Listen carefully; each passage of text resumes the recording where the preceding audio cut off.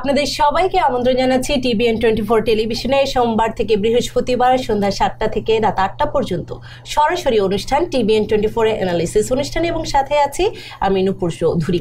সংবাদের বিভিন্ন দিক নিয়ে আমরা কথা বলব কথা বলব, আপনাদের কোনো প্রশ্ন থাকলে সেটির মতামত নিব, বিশ্লেষণ নিব। সেই সাথে চেষ্টা করব আজকের ঘটনা যেগুলো ঘটেছে, শিরোনামগুলো, সেগুলো নিয়ে আলোচনা করতে। তবে শুরুতেই আমরা পরিচয় করে দিচ্ছি, আমাদের আজকের অনুষ্ঠানে যে দুজন অতিথি আমরা পেয়েছি তাদের সাথে। আমরা পেয়েছি মনিউদ্দিন নাসের সাংবাদিক আপনাকে স্বাগত জানাচ্ছি আমাদের অনুষ্ঠানে। ধন্যবাদ আপনার এবং আমরা পেয়েছি আব্দুল কাইয়ুম আনোয়ার কমিউনিটি অ্যাক্টিভিস্ট। আপনাকেও স্বাগত জানাচ্ছি আমাদের এই অনুষ্ঠানে।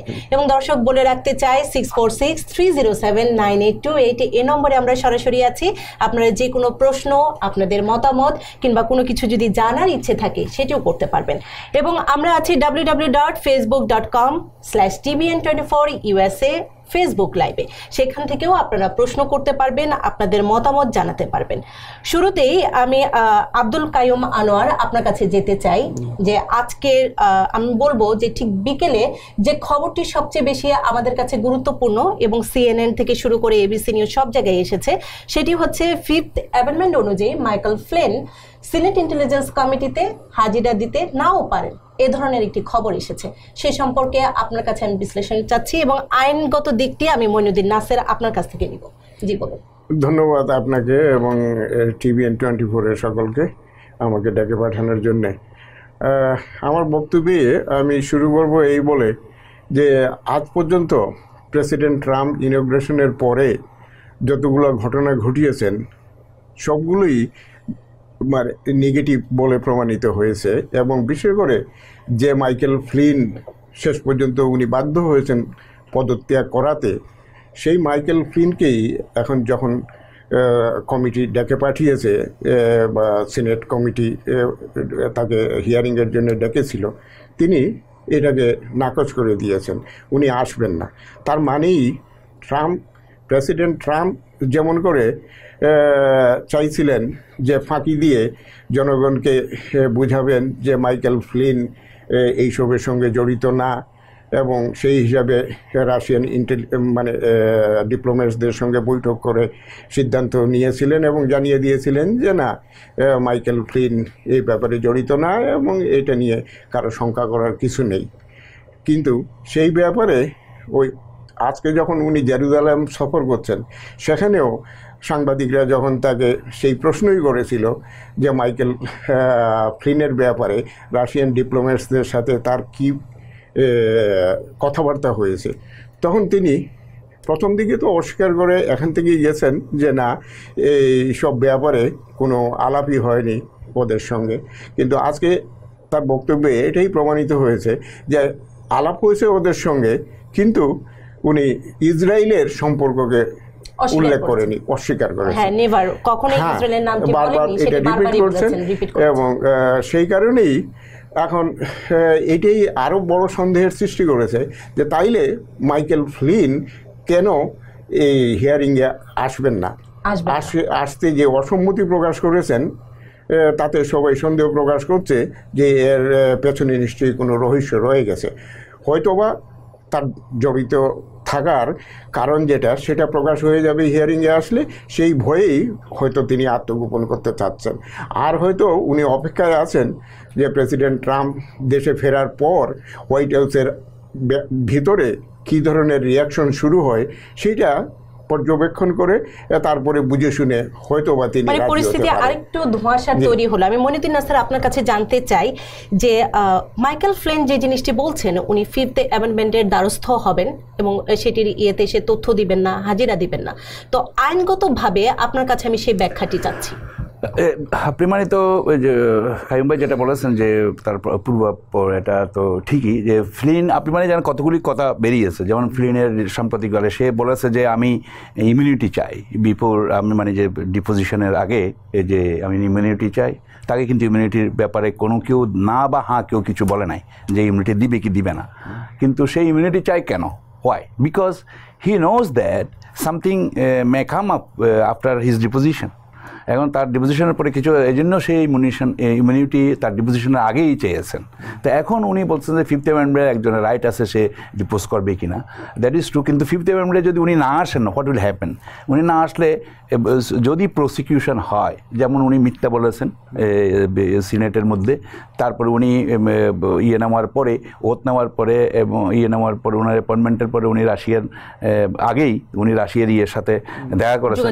যোগাযোগ করেছেন এবং রাশিয়ার কাছ থেকে অর্থ নিয়েছেন এবং তার বেনিফিশিয়ারি আর আর এফবিআই এবং সতেরোটা ইন্টেলিজেন্স এজেন্সি বলেছে যে এফবিআই ট্রাম্পের ক্যাম্পেইনের সাথে আপনার মানে রাশিয়ার করিউশন ছিল এবং মানে সেই, এর পরিপ্রেক্ষিতে যদি কোনো প্রসিকিউশন হয়, তখন তাকে ডিপোজিশন প্রসিকিউশন যদি হয় এবং সে যদি অ্যাকিউজড হয়, সেখানে তাকে ই করতে হবে। এখন আমার খুব মনে হয় যতটুকু ধারণা, সে যে, ওখানে ডিপোজিশন করবে না, সে না করে সে বসে রয়েছে, যদি তাকে প্রসিকিউশন সে কোনো নিশ্চয়তা পাচ্ছে না যে সে তাকে ইমিউনিটি দেওয়া হবে। এবং সেই ক্ষেত্রে সে যদি প্রসিকিউশন হয় তাহলে সে চিন্তা করছে যে আমার বিরুদ্ধে যদি প্রসিকিউশন আমি কোর্টেই ডিপোজিশন দিব। মানে নট ইন দি সিনেটের করব না সে পারে সেটা। বাট এর মধ্য দিয়ে অনেক কথা কিন্তু নতুন করে আবার জেগে উঠেছে।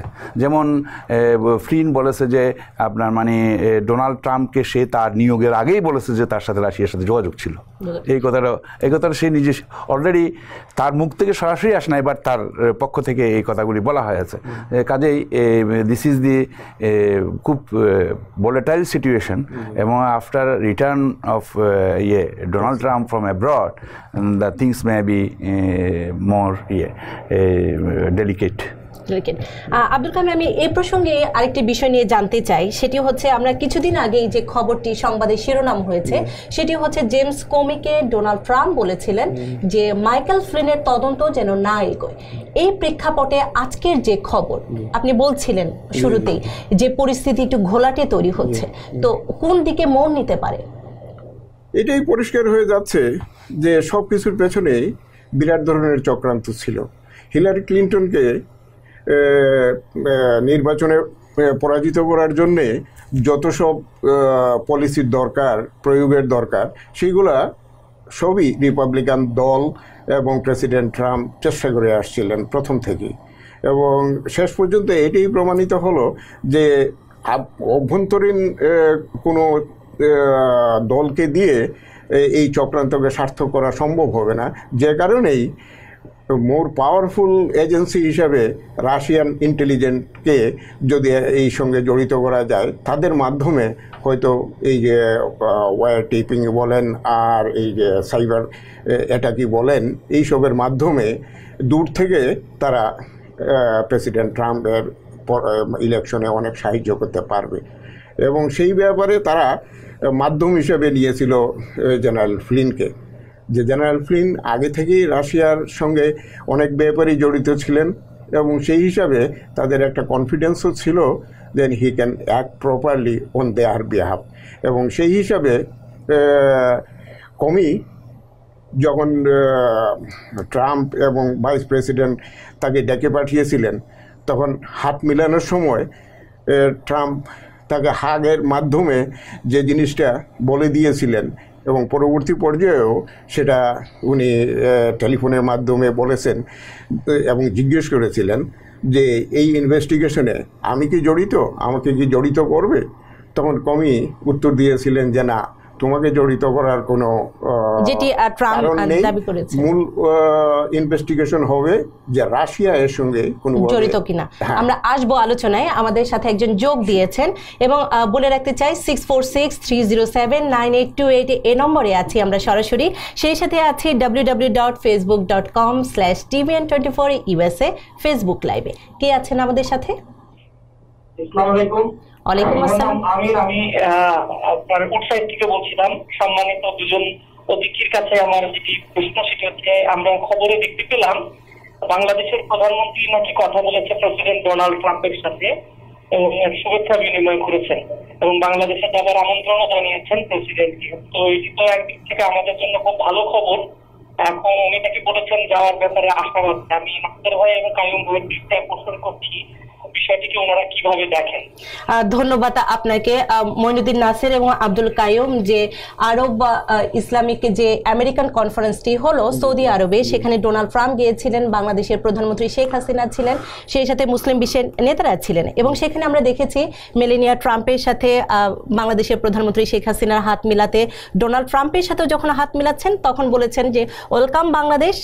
উনি বলেছেন, দেখছি। তো এই বিষয়টি নিয়ে জানতে চাচ্ছেন। তো মইনুদ্দিন নাসির, আপনি যদি শুরুতে বলেন তারপরে আমি ওনার কাছে আসব। এটা ওই- সময় যে কনফারেন্সটা হচ্ছে আরব লীগের যে যারা সদস্য এবং বাংলাদেশের একটা আরব লীগের সদস্য সেখানে কনফারেন্স হয়েছে এবং এটা ওইখানে তাদের সাথে ডোনাল্ড ট্রাম্পের সাথে দেখা হবে এবং ওইটা ওইভাবেই নির্ধারণ করা ছিল। সেখানে এটা শেখ হাসিনা আমাদের প্রধানমন্ত্রী তিনি গিয়েছেন এবং তার সাথে প্রথম বোধহয় ডোনাল্ড ট্রাম্পের সাথে প্রথম সাক্ষাৎ এই ডোনাল্ড ট্রাম্পের সাথে বিভিন্ন জনের সাথে। এই- এইটা তো ভালো দিক। দিস ইজ দি কারণ আমরা তো যে বাংলাদেশ, আমি তো আমেরিকান নাগরিক, আমি ওই হিসাবে বল- বাংলাদেশ তো আপনার এই যে, এই বাংলাদেশের তো বাইলেটারাল রিলেশনস এবং অন্যান্যদের সাথে তাদের অফিসিয়ালি ডিল করা উচিত। যেমন মানে কারোকে পার্সোনালি না করে। আজকে শেখ হাসিনা বা প্রধানমন্ত্রী বা অন্য কেউ সবাই জানেন যে, এখানে পলিটিক্সের শেষ কথা বলে কিছুই নেই। এখন মানে হিলারি ক্লিন্টন হয়তো আগামীবার দাঁড়াবেন কি দাঁড়াবেন না, এখন একটা প্রশ্ন হয়ে দাঁড়িয়েছে যে, উনি হয়তো আগামীবার দাঁড়াতে পারে। যদি কথাগুলো যে ডোনাল্ড ট্রাম্পের সাথে হয়তো আমাদের এখানে কমিউনিটির অধিকাংশ ডোনাল্ড ট্রাম্পের বিরুদ্ধে। It does not necessary mean that প্রধানমন্ত্রী শেখ হাসিনাও ডোনাল্ড ট্রাম্পের বিরোধিতা করবেন। সেই ক্ষেত্রে অবশ্যই ডেফিনেটলি এবং মানে তাকে দেশীয় স্বার্থে ইয়ের স্বার্থে এবং এই যে আমাদের বাংলাদেশের সাথে বাইলেটার রিলেশনস ডেভেলপ করার স্বার্থে এটা তো একটা শুভ দিক। তাদের সাথে দেখা হয়েছে কথা হয়েছে পরিচয় হয়েছে একজন একজনকে সামনাসামনি দেখেছেন। এবং মানে সেটা এবং এটা ফলো আপটা থাকা দরকার আর কি। থাকা দরকার। আব্দুল কালাম আপনি যদি যোগ করেন এটি দ্বিপক্ষীয় কোনো বৈঠক ছিল না। সম্মেলনের এক ফাঁকে যখন ফটো সেশনের পরে ডোনাল্ড ট্রাম্পকে এভাবে কথা বলেছেন তারপরও বিভিন্ন গণমাধ্যম সেই সাথে আমরাও আশাবাদী যেহেতু আমাদের অরিজিন বাংলাদেশ এবং আমরা চাই জাতীয় স্বার্থে যুক্তরাষ্ট্রের সাথে বাংলাদেশের একটি সুন্দর দ্বিপক্ষীয় সম্পর্ক থাক। আব্দুল কাইম যুক্তরাষ্ট্রের সঙ্গে স্বাধীনতা যুদ্ধের ইতিহাসের যে পর্ব সেটা অনেক আগেই শেষ হয়ে গেছিল। যুক্তরাষ্ট্র এক সময় বাংলাদেশ স্বাধীনতা যুদ্ধে দ্বিমত পোষণ করে তার বিরোধিতা পর্যন্ত করেছিল। য- কিছু কিছু জনগণ তারা বাংলাদেশ স্বাধীনতার পক্ষে কাজ করছিল এবং সমর্থন জানিয়েছিল। এর কিছু পরেই পরিবর্তন চেঞ্জ হয়ে গেছিল। তার মানে তাদের মতামত কিন্তু বাংলাদেশের পক্ষেই কাজ করছিল। এবং এখনও পর্যন্ত যুক্তরাষ্ট্র বাং পাকিস্তান এবং বাংলাদেশের দুই দেশের মধ্যে তাদের যে সম্পর্ক, যুক্তরাষ্ট্রের যে সম্পর্ক, সেটা এখন পরিষ্কার হয়ে গেছে যে তারা পাকিস্তানকে যতটুকু না প্রশ্রয় দিচ্ছে, তার চেয়ে অন্তত দশ গুণ প্রশ্রয় দিচ্ছে বাংলাদেশকে। কারণ তারা বুঝে ফেলছে যে একমাত্র মুসলিম প্রধান দেশ হিসাবে বাংলাদেশ জঙ্গিদের বিরুদ্ধে যে অভিযান চালিয়ে যাচ্ছে, সেটা শুধু যে বাংলাদেশের স্বার্থের ব্যাপারে কাজ করবে তা না, এটা সারা বিশ্বের জন্য কাজ করবে এবং বিশেষ করে যেখানে যুক্তরাষ্ট্র সবসময় এই জঙ্গিদের আক্রমণে অতিষ্ঠ এবং সেই হিসাবে তারা বিলিয়ন বিলিয়ন ডলার অন্যান্য দেশকে সাহায্য পর্যন্ত দিয়ে আসছে যাতে তারা জঙ্গি দমন করে, এটা যাতে আর ছড়িয়ে না পড়ে। তো সেই হিসাবে পাকিস্তানে যেখানে এখন পাকিস্তানের রাষ্ট্রীয় অস্তিত্ব নিয়ে প্রশ্ন উঠেছে, তাদের নিজেদের মধ্যে যে জঙ্গি মনোভাব, সেটাই তারা সামলাতে পারছে না। আর বাংলাদেশ সেখানে স্বাধীন হয়ে এটাই প্রমাণ করে দিয়েছে সারা বিশ্বের সামনে যে তারা জঙ্গিকে কোনো দিন পছন্দ করবে না। যদিও মূলত বাংলাদেশের শতকরা পঁচানব্বই ভাগ লোক মুসলমান এবং তারা ইসলাম ধর্মে দীক্ষিত। এবং সেই কারণেই আমেরিকার সরকার যে সরকারই আসুক না কেন, সেই আগের মনোভাব আর এখন নেই। এখন বাংলাদেশকে সবাই অন্য দৃষ্টিতে দেখে এবং দরকার হলে, প্রয়োজন হলে তারা বিভিন্ন ব্যাপারে সাহায্য করে আসছে। এবং বিশেষ করে রাজনৈতিক কারণে শেখ হাসিনা যে ডোনাল্ড ট্রাম্পের সঙ্গে দেখা করেছেন, সেটা যে সৌদি আরব ট্রাম্প সাহেব যাবেন এবং ওখানে গেলে উনি দেখা করে কোনো স্বার্থ আদায় করবেন সেই ধরনের কোনো উদ্দেশ্য নিয়ে ডোনাল্ড ট্রাম্পও যায়নি বা অন্য কোনো মুসলিম দেশের প্রধানও সেখানে গিয়ে যোগ দেননি। সেখানে যোগ দেওয়া হয়েছে যে ইসলামিক সব দেশের স্বার্থে কিছু কথাবার্তা বলা এবং যদি সম্ভব হয় তাইলে সবাই মিলে যৌথ কোনো উদ্যোগ নেওয়া যাতে সারা বিশ্বের এই যে জঙ্গি এইগুলোকে দমন করা যায় কিনা। আর বিশেষ করে এই যে যুক- যুক্তরাষ্ট্রের প্রধান হিসাবে ডোনাল্ড ট্রাম্প ওখানে গিয়েছেন, সেটা একটা অস্বাভাবিক ঘটনার মতো ঘটনা যে যেখানে উনার কোনো এত মানে এত তাড়াতাড়ি অন্য কোনো প্রেসিডেন্ট বিদেশ সফরের প্রয়োজনীয়তা মনে করেননি। বড় জোর না হয় কানাডা এবং মেক্সিকো এই পার্শ্ববর্তী দুই পার্শ্ববর্তী দেশে গেছেন আমরা। আসব এই প্রসঙ্গে। আমি এই প্রসঙ্গে বাংলাদেশের প্রেক্ষাপটে মনিউদ্দিন নাসার আপনার কাছে জানতে চাই। আমরা গত বছরও দেখেছি মানে বারাক ওবামার আমলে জিএসপি সুবিধা বাতিল সহ বাংলাদেশের সাথে গার্মেন্টস শিল্পের এবং বাণিজ্য ক্ষেত্রে যে একটি দর কষাকষি আমি বলব অনেকবার চেষ্টা করেও বাংলাদেশ সেই সুবিধাগুলো আদায় করতে পারেনি যুক্তরাষ্ট্রের কাছ থেকে। আপনার কি মনে হয় যে প্রেসিডেন্ট ডোনাল্ড ট্রাম্পের সময় এই সুবিধাগুলো আবার দর কষাকষি করে নতুনভাবে এই সুবিধাগুলো আদায় করতে পারবে? আমি যেটা প্রশ্নটা করার জন্য আপনার মানে ধন্যবাদ। যে কাইম তো বলেছেন যে ওইখানে যে আলোচনাটা হয়েছে সেখানে এই বিষয়গুলো এই বিষয়গুলো আসার আসার কোনো স্কোপ ছিল না। এখানে কারণ আর ওই যে সম্মেলনটা ছিল আরব লীগের এটা সন্ত্রাস দমনের জন্য। বিশেষ বিশেষ করে সন্ত্রাস দমনের উপরে কথা হবে সেটাই ওইখানে কথা ছিল। আরব লীগের সদস্য হিসাবে যেই যে যেই ইয়ে তারা জোট করেছে আরব জোট যেটা এগেনস্ট সন্ত্রাসের সেটা সদস্য হিসাবে বাংলাদেশ এখানে শেখ হাসিনা গিয়েছেন আর এটা এটা কোনো জিএসপি জেনারেল যে প্রেফারেন্স যেটা বলতেছেন আপনি মানে যে প্রশ্নটা সেই সেটা অনেক দীর্ঘ ব্যাপার। এটা ব্যাপারটা হচ্ছে যে এখানে জিএসপির সাথে অনেক কিছু জড়িত, যেগুলো এই মুহূর্তে বাংলাদেশ গভর্নমেন্টের পক্ষে আমি প্রশ্নগুলি তুলতে চাই না, কারণ এগুলো তুলতে গেলে অনেক কিছু চলে আসে। যেমন এখানে ল অ্যান্ড অর্ডার সিচুয়েশনের ব্যাপার আছে। কাইম ভাইয়ের সাথে আমি একটা যে একটু ডিসেন্ড করি, যে একটা জিনিস, যেমন বাংলাদেশের কিন্তু সন্ত্রাস দমনের ব্যাপারে বাংলাদেশের সাথে আমেরিকার কিন্তু, বাংলাদেশের সন্ত্রাস দমনের ব্যাপারে আমেরিকার একটা বেসিক ডিফারেন্স আছে। ডিফারেন্সটা হচ্ছে যে বাংলাদেশ বলছে যে সেখানে কোনো আইএসএস নাই। প্রধানমন্ত্রী পরিষ্কারভাবে বলেছেন আইসিস এখানে নাই। কিন্তু আমেরিকা থেকে এখনও পর্যন্ত স্ট্যান্ড হচ্ছে বাংলাদেশে আইসিসের সেল আছে। এবং আইসিস নিজেই দাবি করেছে যে বাংলাদেশে আইসিসের সেল আছে। এখন যে ব্যাপারটা হচ্ছে যে এটা একটা বেসিক ডিফারেন্স ওইটার ব্যাপারে। এখন শেখ হাসিনা কীভাবে এখানে মোল্ড করে আরব লীগের, এখানে তার নিজের অবস্থানকে ক্লিয়ার করে, সেটার উপর অনেক কিছু ডিপেন্ড করে। আপনার মানে অনেক, এই যে জিএসপির ব্যাপারটা, আইএসএস এর সন্ত্রাস থেকে শুরু করে, বাংলাদেশের সন্ত্রাস দমন শুরু করে, বাংলাদেশের ট্রেড ইউনিয়ন নেতাদেরকে হত্যা করা থেকে শুরু করে, যেমন আমিনুল ইসলাম সাহেবের হত্যার বিচার এখনও হয় নাই, এবং প্রধানমন্ত্রী আমানপুরের মতো সাংবাদিকের সাথে ইয়ে দিয়ে আপনার মানে ইন্টারভিউ দিয়ে বলেছেন যে এখানে who is Aminul Islam? It is this is a still discuss in the among the AFL সিআইউর মধ্যে এটা ডিসকাস হয় who is Aminul Islam?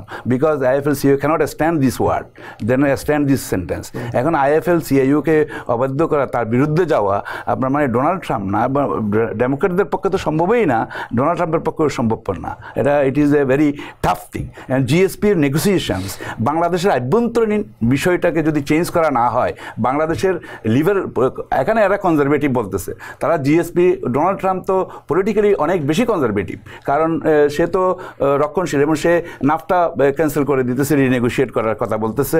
সে ইয়ে তো আপনার জিএসপি যে তুলে দেবে আমার মনে হয় না যে ডেমোক্রেটের চাইতে বেশি লিবারাল হবে। এটা আমার মনে হয় না। এবং দিস ইজ নট যে এবং ওই ওই ক্ষেত্রে বাংলাদেশ যদি আভ্যন্তরীণ তার সংস্কার করতে না পারে আভ্যন্তরীণভাবে তার ল অ্যান্ড অর্ডার সিচুয়েশন সৃষ্টি করতে না পারে ট্রেড ইউনিয়ন নেতাদের হত্যার বিচার করতে না পারে, রাজনৈতিকভাবে তারা সহনশীলতা, উদারতা এগুলি স্থাপন করতে না পারে তারা আমেরিকার সাথে এই জিএসপি বা অন্য কোনো সুবিধা আদায় করা খুব ডিফিকাল্ট হবে। ডিফিকাল্ট হবে। এবং দর্শক বলে রাখতে চাই six four six three zero seven nine eight two eight এই নম্বরে আমরা সরাসরি আছি। সেই সাথে আমরা ফেসবুকে আছি। ফেসবুকে অনেকে প্রশ্ন করেছেন মনিউদ্দিন নাসের এবং আব্দুল কালাম আমি সেখান থেকে কিছু প্রশ্ন নিতে চাই। সিদ্দিকুর রহমান বাবু একটু দ্বিমত পোষণ করেছেন। তিনি বলেছেন বাংলাদেশে জঙ্গি নিয়ে এটি সরকারের তৈরি। এটি তার একান্তই ব্যক্তিগত মতামত। সেই সাথে মোহাম্মদ তপু একটি প্রশ্ন করেছেন এটি আপনি উত্তর দিতে পারবেন। How can I check what মানে year is running for immigration process উনি কোন জায়গায় গেলে সেই চেক করতে সহজ এটা মানে অনেকেই বলে না এটা মানে তারা প্রফেশনাল আমি বলে দিতেছি আপনাকে আপনি গুগলে যাবেন যাইয়ে বলবেন যে বিশা বুলেটিন। ভিসা বুলেটিনে যাবেন ভিসা বুলেটিনে গেলে আপনার আগের চাইতে অনেক সহজভাবে তারা উত্তরগুলো দিয়ে দেয় সেখানে আপনি যাবেন। আমার এই মুহূর্তে খেয়াল নাই কোন ইয়ার চলতেছে ভিসা বুলেটিনে কোন ক্যাটাগরির এটা F one F two F three F four আপনার ক্যাটাগরিগুলি আপনি দেখবেন আপনারা যে ক্যাটাগরিতে পড়ে সেই ক্যাটাগরি আপনি দেখে নেবেন কোন ইয়ারটা চলতেছে। চায়না এবং অন্যান্য জেনারেল যে কলামটা আছে সাধারণ যে কলামটা আছে এই কলামের ভিতরে দেখবেন আপনার হয়ে যাবে। আচ্ছা ধন্যবাদ। সেই সাথে আব্দুল কালাম আমি আপনাকে যেখানে থামিয়েছিলাম সেখান থেকে শুরু করতে চাচ্ছি। আপনি বলছিলেন যে এটি আমরাও দেখেছি যে জিমি কার্টার পরবর্তী প্রেসিডেন্টগুলো পার্শ্ববর্তী দেশগুলোকে বেছে নিয়েছিলেন কানাডা অথবা মেক্সিকোকে তাদের সফরের প্রথম প্রথম, তালিকাতে। এবং আমরা দেখলাম যে ডোনাল্ড ট্রাম্প একশো উনিশ দিনের মাথায় তিনি যে বিদেশ সফরে গেলেন সেখানে হচ্ছে প্রথম প্রায়োরিটি পেয়েছে সৌদি আরব একদম শুরুতেই। এবং এটি নিয়ে যখন আমরা বিশ্লেষণ করেছি সবাই বলেছেন ব্যবসায়িক অস্ত্র বিক্রি এবং সেটির ফলও আমরা দেখলাম যে একশো দশ বিলিয়নের অস্ত্র চুক্তির একটি ডিল হয়েছে। তো আপনার কাছে মূল্যায়ন? হ্যাঁ এটা আসলে যে সেই অস্ত্র বিক্রির উদ্দেশ্যে সৌদি আরব যেতে হবে ওখানে গিয়ে কন্ট্রাক্ট সাইন করতে হবে এটার পূর্ববর্তী কোনো ইতিহাস নেই যে আমেরিকার প্রেসিডেন্ট নিজে গিয়ে ওখানে সাইন করতে হয়। তারাই বরং যারা এই ব্যাপারে উপকার পাবে, তারা এসে বরং এই হোয়াইট হাউসেই অনুরোধ জানায় এবং তারপরে মানে প্রেসিডেন্ট সেটাকে সিগনেচার করে। কিন্তু এবার এই যাত্রা যেটা হঠাৎ করে তিন প্রধান ধর্মীয় দেশ সফর করা সঙ্গে সঙ্গে নেটোর কেন্দ্র, ব্রাসেলসে যাওয়া এইগুলোর মূল উদ্দেশ্য যেটা, সেটা আমার কাছে মনে হয় যে এই যে অভ্যন্তরীণ, বর্তমান আমেরিকার অভ্যন্তরীণ যেসব রাজনৈতিক জটিলতার সৃষ্টি হয়েছে, এইগুলোকে অ্যাভয়েড করার জন্যে হয়তো হোয়াইট হাউসের যারা কাউন্সিলর যারা কাউন্সিল করেন, উপদেশ দেন, তারাই পরিকল্পিতভাবে উনাকে সিন থেকে সরানোর এই প্রচেষ্টা নিয়েছেন। যে কারণে উনি এক হিসাবে বাধ্য হয়েই এটা করেছেন এবং সরে গেছেন সিন থেকে এবং দেখছেন, ওখান থেকে বসে বসে হয়তো খবর নিচ্ছেন এবং এখানে হোয়াইট হাউসও এই সুযোগে নতুন কোনো নীতি তৈরি করা যায় কিনা বা পাল্টা কোনো জবাব দেওয়া যায় কি না বিরোধীদের সেই সেই পরিকল্পনায় এখন ব্যস্ত হচ্ছেন। যে কারণে এই যে নিউ ইয়র্ক টাইম ম্যাগাজিন যেটা সেটাই তারা বলছে যে it is a political dilemma political dilemma to be sure আমার চোখ খুব ডিস্টার্ব হয়েছে। But also a moral one a test of allegiance to the truth to the law and to the traditions of government for many, the priority now is to limit the damage so the mistake that have been made don't multiply into something more disastrous. The situation is what it is and we have to mitigate it. তো এই যে পরিস্থিতিকে একটু মানে সবার চোখের সামনে থেকে সরিয়ে নিয়ে তাদেরকে জনগণকে অন্য কোনোভাবে ফুসিয়ে ফাঁসিয়ে যাতে এই ব্যাপারে একমত হওয়া যায়, এটারই হয়তো একটা বিরাট ধরনের প্রচেষ্টা। কারণ এই আপনি যেটা বলছিলেন যে কাটারের পর থেকে বা উনিশশো সালের পরে যে তিনটা গেট আমি তিনটা গেটই বলি, একটা হলো ওয়াটার গেট আরেকটা হলো মনিকা গেট আর এখন চলছে যেটা, সেটা হলো যে রাশিয়া গেট এই তিনটার কারণেই প্রেসিডেন্টরা এত বেশি অপদস্থ হয়েছেন যে ওনারা নিজেরা কোনোদিন কল্পনা করতে পারেননি যে তাদের পরিণতি এই গিয়ে দাঁড়াবে। তো এখন বর্তমান প্রেসিডেন্ট ট্রাম্পের ভাগ্যে কী আছে, এটা এখন না, বেশ আগে থেকেই হয়তো উনি কিছুটা অনুমান করছেন বলে অনেক ব্যাপারে আপনাদের এই একই অনুষ্ঠানে আমি আগে কিছু ভবিষ্যৎবাণী করেছিলাম যে যত গর্জে তত বর্ষে না, ট্রাম্প সাহেব ইলেকশন ক্যাম্পেইনের সময় যেসব বড় বড় কথা বলছিলেন, সেইগুলা ইনোগ্রেশনের পরপরই দেখা গেছে যে অনেকটা নমনীয় হয়ে এসছে। এই মুসলমানদের ব্যাপারে গতকাল যে- যেটা উনি সৌদি আরবে বক্তব্য পেশ করেছেন এটা যদি সেই ইলেকশনের আগের পর্যায়ে উনি দিতেন বা ইলেকশনের পরেও দিতেন অন্তত এই অভ্যন্তরীণ যত মুসলমান আছে তারা হয়তো এত বেশি খেপে যেত না। এবং তাদেরই এই মুসলমানদের সমর্থনে ডেমোক্রেটিক হোক আর রিপাবলিকান বড় বড় নেতারা পর্যন্ত অসন্তুষ্ট হতেন না। কারণ তারা জানেন যে তাদের ককাসে অনেক অনেক মুসলমান রয়ে গেছেন যে তারা তাদেরকে সমর্থন করেন। সুতরাং তারা জেনে শুনে কেন ওইসব মুসলিম সাপোর্টকে হারাবেন? সেই আতঙ্কে উনারা কিন্তু তখন আতঙ্কিত ছিলেন যে ট্রাম্প এসব কি করছেন? এটা কি আমাদের ব্যাপারে একটু ওনার চিন্তাভাবনা নেই যে আমরা কীভাবে ভবিষ্যতে এই দেশে রাজনীতি করব? যেমন ধরেন এখানকার এই যে কিসের? মেক্সিকো ওয়াল সৃষ্টি মানে বানানো। সেটার ব্যাপারে আগের এক অনুষ্ঠানে আমার এক ভাই বাইরে থেকে মন্তব্য করছিলেন যে, আমি যেটা বলছিলাম যে তাদেরই এক প্রেসিডেন্ট ডোনাল্ড রিগানের মতো রোনাল্ড রিগানের মতো প্রেসিডেন্ট পপুলার প্রেসিডেন্ট যেখানে গর্বাচেবকে বলে মানবতার দৃষ্টিকোণ থেকে বিবেচনা করে উনি বলছিলেন যে tear down that wall that Berlin wall যেটা সারা বার্লিনকে সারা জার্মানিকে বিভক্ত করে রেখেছিল, অথচ এক ভাই আরেক ভাই থেকে বিচ্ছিন্ন হয়ে যুগের পর যুগ কাটাচ্ছিল, সেটা উনি পছন্দ করেননি এবং তার অ্যাডমিনিস্ট্রেশন সেটা পরিকল্পিতভাবে শেষ পর্যন্ত এটা ভাঙিয়ে ফেলেছে। এবং সেই ধরনের ব্যাপারের ঠিক বিপক্ষে এসে এই ডোনাল্ড ট্রাম্প আবার পরিকল্পনা নিয়েছেন যে ওখানে মেক্সিকোতে ওয়াল দিয়ে আসব আপনার কাছে। আমি একটু মনিদিন নাসের আপনার কাছে যেতে চাই সেই সাথে ফেসবুকে যারা প্রশ্ন করছেন যাদের মতামত দিচ্ছেন সেটি আমি একটু পড়ে নিতে চাই। এবং দর্শক six four six three zero seven nine eight two eight এই নম্বরে আমরা আছি সরাসরি। আর ফেসবুকে অনেকে তাদের মতামত তুলে ধরেছেন। একজন বলেছেন কামরুল হাসান তিনি বলেছেন বাংলাদেশের শাসন ব্যবস্থার কারণে ন্যায় বিচারে গণতন্ত্র না থাকার কারণে আমেরিকা সন্তুষ্ট না। মূল কথাই এটি নয় তারা বিভিন্ন বাহানায় জিএসপি সুবিধা দিচ্ছে না এটি তার নিজস্ব মতামত। সেই সাথে অনেকে আবার বলেছেন বাংলাদেশে কোনো জঙ্গি নেই এটি বাংলাদেশ সরকারের তৈরি। সেটিও তাদের যারা প্রশ্ন করছেন যেমন শেখ রহমান বাবু তিনি বলছেন বাংলাদেশে জঙ্গি নেই এটি সরকারের তৈরি এটিও হচ্ছে তার নিজস্ব মতামত। সেই সাথে আমি ধন্যবাদ জানাতে চাই যারা টিভিএন টোয়েন্টি ফোর টেলিভিশনকে ধন্যবাদ দিয়েছেন সেলিম চৌধুরী মঈনুদ্দিন লোকমান বাবু মোহাম্মদ তপু তারা সবাই টিভিএন টোয়েন্টি ফোর টেলিভিশনে এই অনুষ্ঠানটি দেখছেন এবং ধন্যবাদ দিচ্ছেন। মনিউদ্দিন নাসেরা আমি প্রথম বিদেশ সফর ডোনাল্ড ট্রাম্পের। আচ্ছা, সেই বিষয়ে যদি যে করেন। যেটা বলেছেন সেটা ওই ওইখান থেকে যে প্রশ্নটার মধ্যে আমি থাকতে চাই আমি আর ইয়েতে থাকতে চাই না। যেমন ডোনাল্ড ট্রাম্প বিদেশ সফর করছেন এবং মানে তার যেমন মানে এখন তার সামনে কি? What is the what challenge he is going to face he is going to face two thousand eighteen election এবং মানে টু থাউজেন্ড এইটিন ইলেকশনকে সামনে রেখে সে আমার মনে হয়েছে যে বিদেশ সফরটা সে চুজ করেছে। সে এমনভাবে চুজ করেছে সৌদি আরবে গেছে, সৌদি আরব থেকে সে ইসরায়েল যাবে, ইসরায়েল থেকে সে ইয়ে গেছে এবং সেখানে একটু মুসলমানদের বিভিন্ন নমনীয় বিষয়, ব্যাপার করেছে। কারণ মুসলমানরা অনেক প্রচুর ভোটার এখানে আছে কংগ্রেসম্যানরা তারা বলছে যে, মনে করতেছে আগামী দিনে যে সিনেটের মধ্যে দুই তিনটা সিনেট যদি হারিয়ে যায়, তাহলে সিনেট তো ডেমোক্রেটদের ডেমোক্রেট দখলে চলে যাবে। অলরেডি গতবার ভোটের সময়ে দশ নেমেছে হাউজে এইবার আঠারো সালে সেখানে হাউজে দশ নামবে।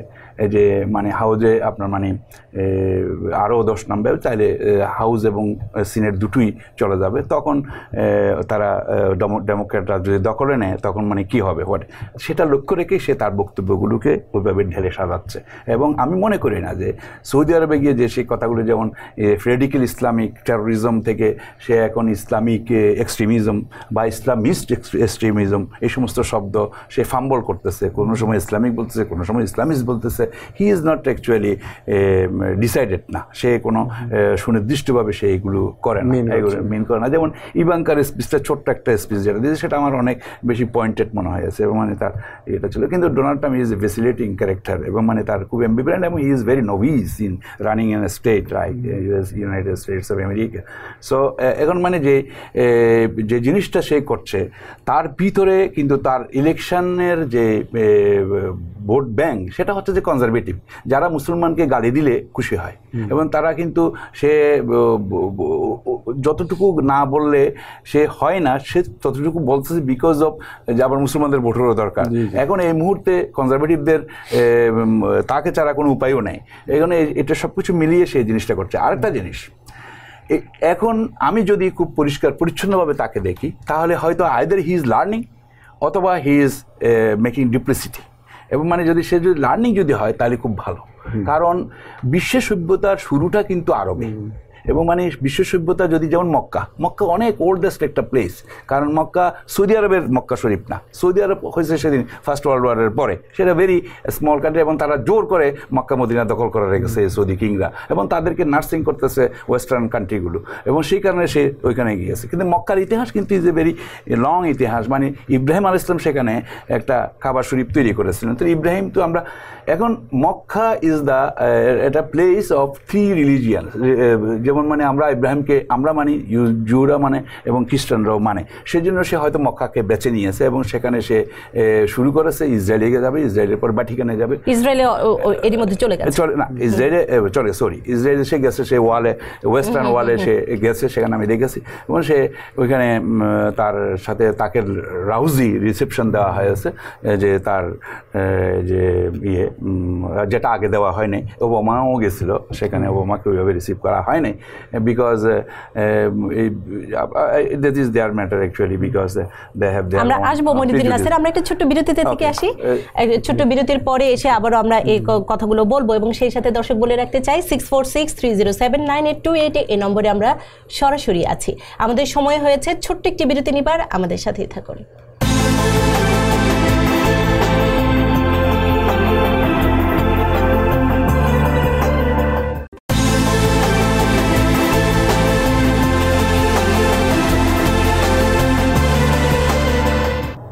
আপনাদের অসংখ্য ধন্যবাদ আমাদের সাথে থাকার জন্য এবং আপনারা দেখছেন টিভিএন টোয়েন্টি ফোর অ্যানালিসিস অনুষ্ঠানে। আমার সাথে দুজন অতিথি আছেন, মইনুদ্দিন নাসের এবং আব্দুল কাইয়ুম আনোয়ার।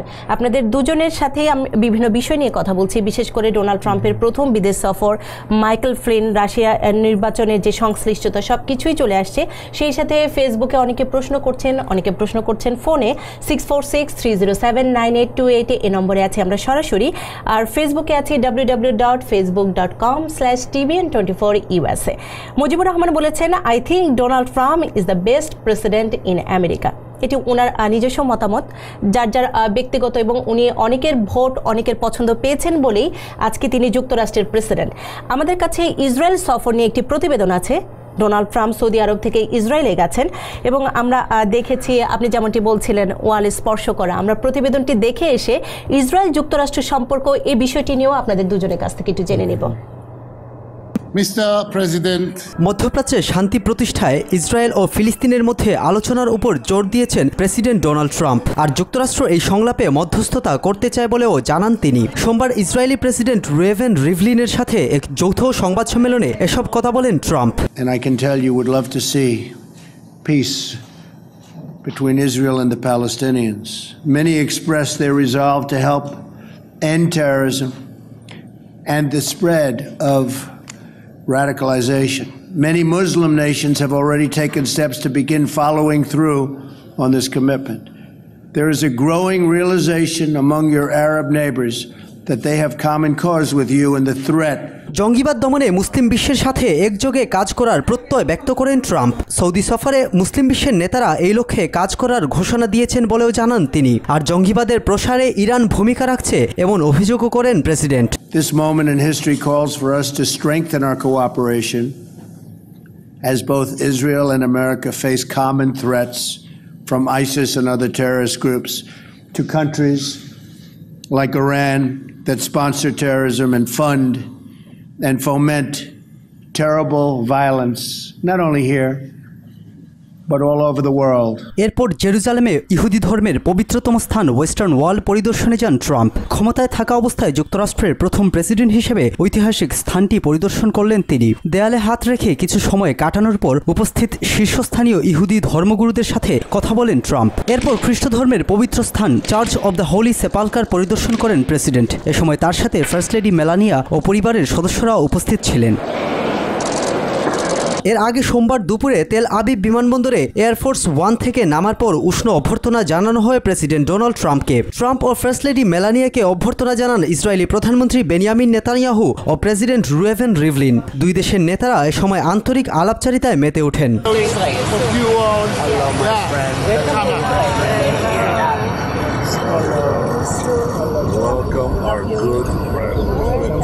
এরপর ইসরায়েলের প্রথা মেনে ব্যান গুরিয়ন বিমানবন্দরে টার্মাকে এক বক্তব্য দেন ট্রাম্প এ সময় যুক্তরাষ্ট্র ও ইসরায়েলের মধ্যকার সম্পর্ককে অবিচ্ছেদ্য বলে উল্লেখ করেন তিনি Israel has built one of the world's great civilizations, a strong, resilient, determined. মধ্যপ্রাচ্যে শান্তি প্রতিষ্ঠায় আলোচনার বিষয়টিও নিয়ে আসেন বক্তব্যে। বলেন মধ্যপ্রাচ্যে শান্তি প্রতিষ্ঠার অনন্য সুযোগ তৈরি হয়েছে সবার সামনে। তবে ফিলিস্তিন ও ইসরায়েলের মধ্যেকার শান্তি আলোচনার বিষয়ে বিস্তারিত কিছুই বলেননি Trump. Now we must work together to build a future where the nations of the region are at peace and all of our children can grow and grow up strong and grow up free from terrorism and violence. এদিকে ট্রাম্পের সফরের প্রতিবাদে ধর্মঘট পালন করছেন ফিলিস্তিনিরা। সোমবার West bank ও গাজায় school ও হাসপাতাল ছাড়া বাকি সব প্রতিষ্ঠান ও দোকানপাট বন্ধ রাখা হয়। ফিলিস্তিনি সংবাদ সংস্থা মা আন জানায়, যুক্তরাষ্ট্রের মধ্যস্থতায় ইসরায়েলের সাথে নতুন করে শান্তি আলোচনার প্রতিবাদে এই ধর্মঘটের ডাক দেওয়া হয়। Ghalib Ashraf, TVN twenty four, news desk. আমরা প্রতিবেদনটি দেখলাম, তবে প্রতিবেদনের ব্যাখ্যা এবং বিশ্লেষণ শোনার আগে আমাদের সাথে একজন যোগ দিয়েছেন ফোনে তার প্রশ্নটি নিয়ে নিই। কে আছেন আমাদের সাথে? কে আছেন আমাদের সাথে? নামটি বলবেন এবং কোথা থেকে বলছেন? কোনো প্রশ্ন কিংবা মতামত? আচ্ছা লাইনটি কেটে গেছে আপনি আবারও একটু চেষ্টা করুন। আপনারা দেখছিলেন মনিউদ্দিন নাসের আমরা প্রতিবেদনটি দেখলাম। শুরুতে আচ্ছা, যদি আপনি যে- যেটা আপনার মানে মধ্যপ্রাচ্যে যে সফর করার জন্য হয়তো উনি যদি লার্নিং এর জন্য হয় তাহলে lot of things to learn বেবলিনীয় সভ্যতা থেকে শুরু করে মানুষের দেহ কীভাবে লালন করা হয় সেটাকে এবং যে পরিচর্যা করা হয় সেগুলো পর্যন্ত সব আরব থেকে আসছে। মূলত আমরা মানে যে পরিচর্যা করি এগুলো কিন্তু উৎপত্তিস্থ সব আরব। যে আজকের যে কসমেটিক্স থেকে শুরু করে আমাদের যে প্রসাধনী থেকে শুরু করে সব কিছু কিন্তু আরব। আপনার মানে যে বেবলিনীয় আপনি মানে সেটা হচ্ছে সবচেয়ে প্রাচীনতম যদি হয় বর্তমান সভ্যতার মধ্যে, সেটাও আরব। তা আরবের সেটা জানাটা ভালো। কিন্তু আরবের যে আপনি মানে টেরোরিজমটা দেখেছে, সে আমি মানে কোথাও উল্লেখ করছিলাম যে ট্রেডিশনাল আর টেরোরিজমটা দেখেছে, কিন্তু তিনি আবিসিনাকে দেখেন নাই। তিনি সেখানকার আল জাবরকে দেখেন নাই। তিনি সেখানে আলখেমিকে দেখেন নাই। তিনি সেখানে যে আরবরা যে একসময় সূর্য, বীর্য এবং তাদের বিয়েতে ছিল, সেখানে সেগুলোকে দেখেন নাই। সেখানে পিরামিডের স্থাপত্য শিল্পের নিদর্শন সেগুলোকে উনি প্রত্যক্ষ করেন নাই। এবং মানে যদি এগুলো যদি প্রত্যক্ষ করেন এবং সভ্যতার পাদপীঠ যে আরব, সেটাকে যদি উনি দেখেন, তাহলে আরবের প্রতি ওনার রেসপেক্ট আরও অনেক বাড়বে। কিন্তু আমার, আমি সেখানে যে তার বক্তব্যে এগুলোর কোনো রেফারেন্স আমি দেখি নাই। আমার এমন মনে হয়েছে খুব শ্যালো ভাবে উনি সুপারফিশিয়ালি উনি দেখেছেন এবং উনি স্বার্থটা দেখেছেন। আমাদের কাইম ভাই বলেছেন যে একশো দশ মিলিয়ন ডলারের ইয়ে আরাম চুক্তি সেখানে করার জন্য যেতে হয় না। দিস ইজ ট্রু এবং মানে কিন্তু আপনি মানে দেখবেন এখানে একশো দশ বিলিয়ন ডলার আপনি, আমি একজাক্টলি ফিগারটা জানি না। ওবামার আমলে মধ্যপ্রাচ্যে আরও অনেক অনেক অনেক অনেক বেশি অস্ত্র বিক্রি হয়েছে। কিন্তু তিনি প্রচার করেন নাই। বিকজ অস্ত্র বিক্রিটা আমেরিকার একটা আয়ের উৎস। এছাড়া বিক্রি যে প্রেসিডেন্ট আসবে তাকেই অস্ত্র বিক্রি করতে হবে। এবং ওবামা যদি সেটা না করে তার ইন্ডাস্ট্রি ফল হবে। এবং তার বহু হাজার হাজার লোক যে American job American job not যে বাংলাদেশি জব না বা পঞ্চাশ হাজার বা এক লক্ষ টাকার জব না। আমেরিকান জব যাদের মিনিমাম একটা আমেরিকান জব পঞ্চাশ হাজার থেকে ষাট হাজার ডলার মিনিমাম এটা মানে জবের বাৎসরিক ইয়ে। সেই সেই জব আপনার মানে চলে যাবে। যে যেই কারণে তাকে এই এই অস্ত্র কারখানাগুলি ঠিকিয়ে রাখতে প্রত্যেক পিছনে অস্ত্র বিক্রি করতে তিনি কিন্তু এটা দেখিয়েছেন কেন জানেন তিনি এটাও কিন্তু তার প্রচার এটাও কিন্তু তার প্রচার সে এত বড় একটা ব্যর্থমিস টাইপের প্রেসিডেন্ট এবং মানে যে উনি এই এই সমস্ত ছোটখাটো জিনিসগুলো পর্যন্ত তিনি এ, রাগডাকে করে আমরা। আসব মনিউদ্দিন নাসের আমি আব্দুল কায়ুম আপনার একটু আমি। মইনুদ্দিন ভাইয়ের কথার সূত্র ধরেই একটু যোগ করতে চাচ্ছি যে প্রেসিডেন্ট ডোনাল্ড ট্রাম্প যদি সত্যিকার অর্থে শিক্ষা নেওয়ার জন্যে বর্তমান ট্রিপ পরিকল্পনা করে থাকেন।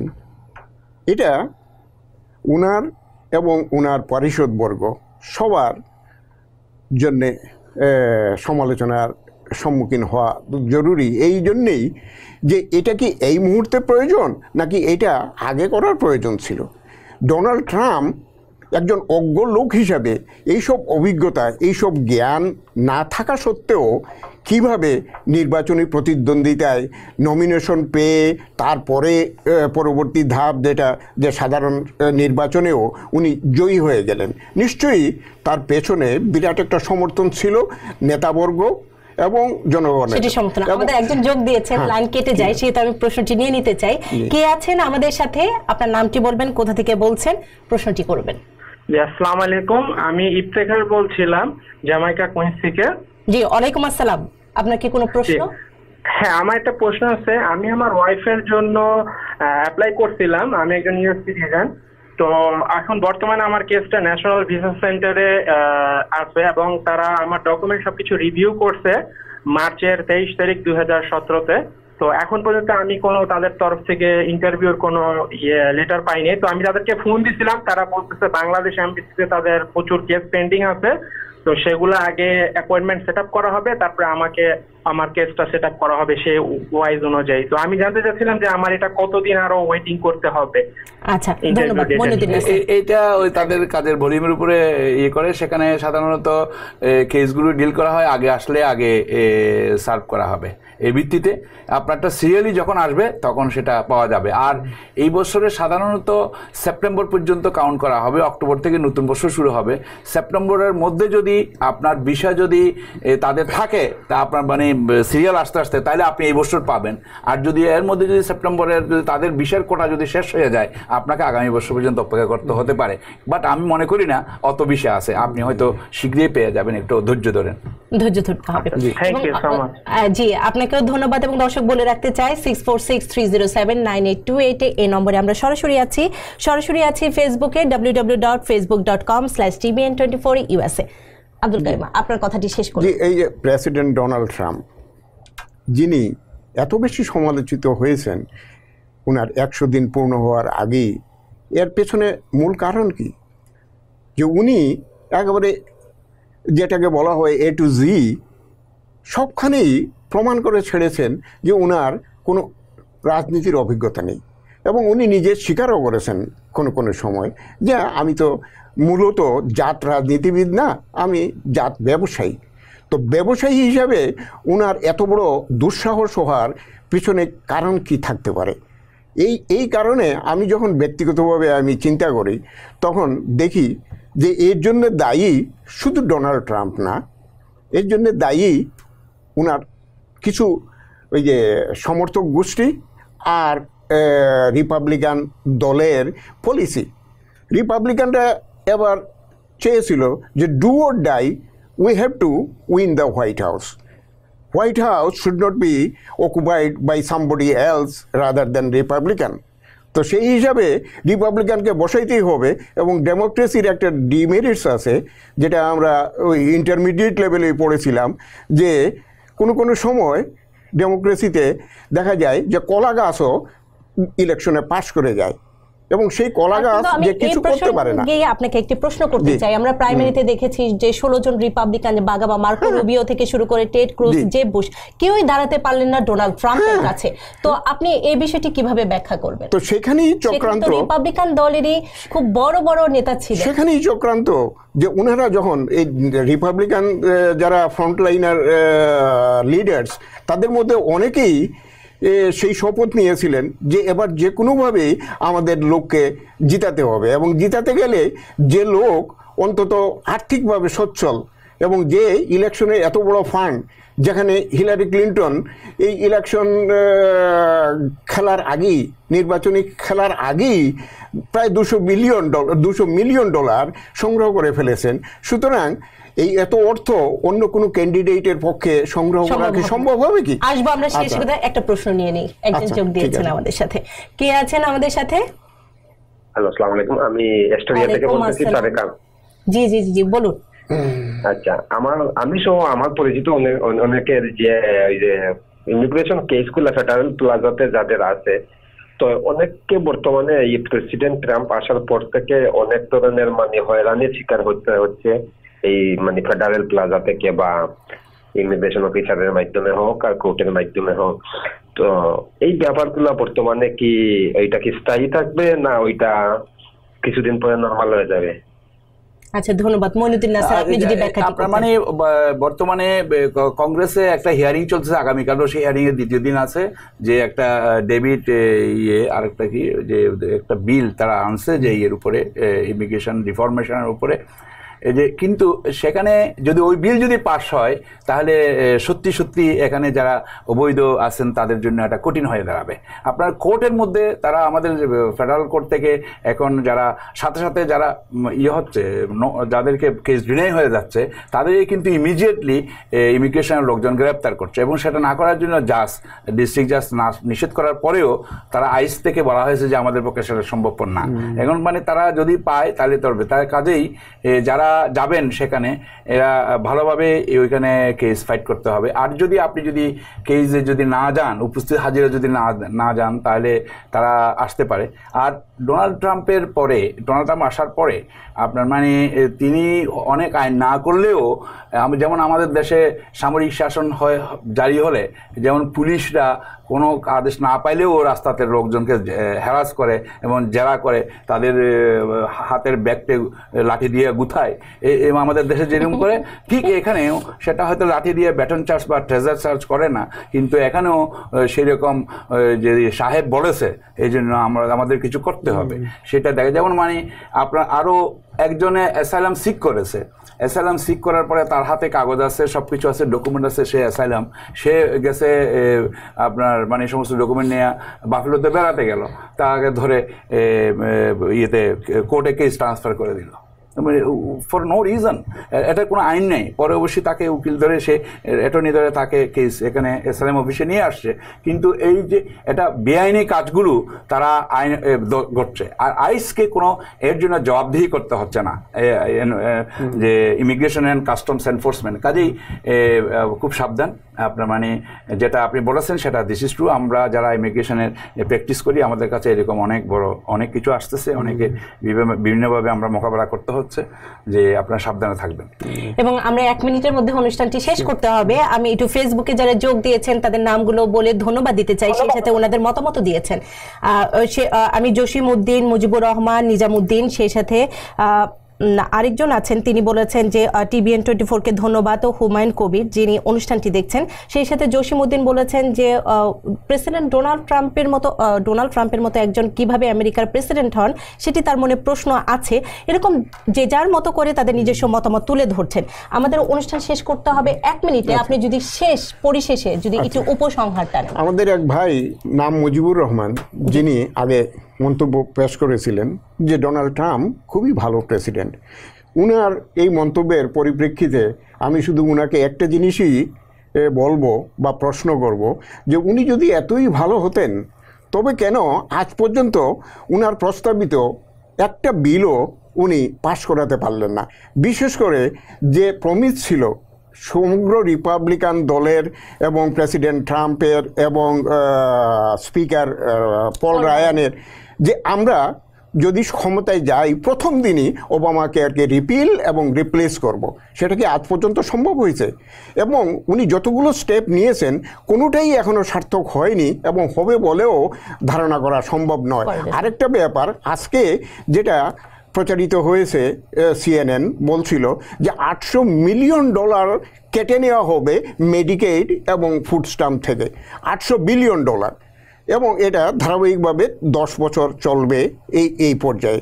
তো এখন যারা আমার, আমি ব্যক্তিগতভাবে যেখানে মেডিকেডের রুগী এবং যে মানে এই মেডিকেট ছাড়া রিটায়ারি হিসাবে এখন চলার কোনো উপায় নেই, আমার সঙ্গতি নেই তো আপনারা কি চাইবেন?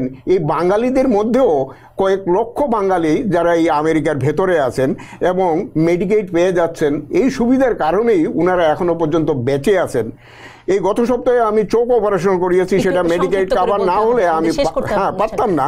তো সেটা কি চাইবেন আপনি যে প্রেসিডেন্ট ট্রাম্প এটা কেটে দেবেন এবং তারপরে আমরা মনে মনে খুব খুশি হব এবং সন্তুষ্ট থাকব। ধন্যবাদ আব্দুল মইনুদ্দিন নাসের আপনি খুব সংক্ষেপ আকারে আমি- আমাদের সময় মানে আমি কোনো কথা বলছি না মানে যে- যে লাস্টে যে প্রশ্নটা যেটা করেছেন যে এই এই ডোনাল্ড ট্রাম্প কেমনে জিতলো? জিতলো এই কারণে এটা সিস্টেম এখানে আপনার মানে এখানে কিন্তু তার জিতের ভিতর দিয়ে আমাদের বাঙালি যারা যারা মানুষের সাথে কথায় কথায় বিএনপি আমরিক নিয়ে আমরা মারামারি করি পিটাপিটি করি মানুষ খুন করি। এবং মানে তাদেরকে শেখা উচিত এই এত বড় একটা বিপর্যয় ঘটে গেল নির্বাচন নিয়ে একটা লোকও মরেনি আমেরিকাতে। দিস ইজ দ্য পজিটিভ দিক। আপনার মানে আপনি মানে দেখবেন যে কেন জিতছে? বিকজ সিস্টেম তাকে জিতিয়েছে। জিতিয়েছে। এবং সিস্টেমকে মেনে নিয়েছে আইনভাবে মেনে নিয়েছে আইনের প্রতি শ্রদ্ধাশীল হওয়ার জন্য আপনারা শিখুন। ধন্যবাদ। ধন্যবাদ মইনুদ্দিন নাসের এবং আব্দুল কায়ুম আনোয়ার। আপনাদের দুজনকে অসংখ্য ধন্যবাদ এবং সেই সাথে দর্শক, আপনারা যারা এতক্ষণ আমাদের এই অনুষ্ঠানটি দেখেছেন, যারা ফেসবুকে দেখেছেন টেলিভিশনে দেখেছেন, প্রশ্ন করেছেন, নিজস্ব মতামত তুলে ধরেছেন, সবাইকে অসংখ্য ধন্যবাদ। তবে এখানে যারা বক্তব্য রাখেন এবং আপনারা যারা নিজেদের মতামত তুলে ধরেন, সেটি একান্তই আপনাদের নিজস্ব মতামত। এটি টিভিএন টোয়েন্টি ফোর টেলিভিশনের কোনো মতামত নয়। আপনারা সবাই অনেক অনেক ভালো থাকবেন।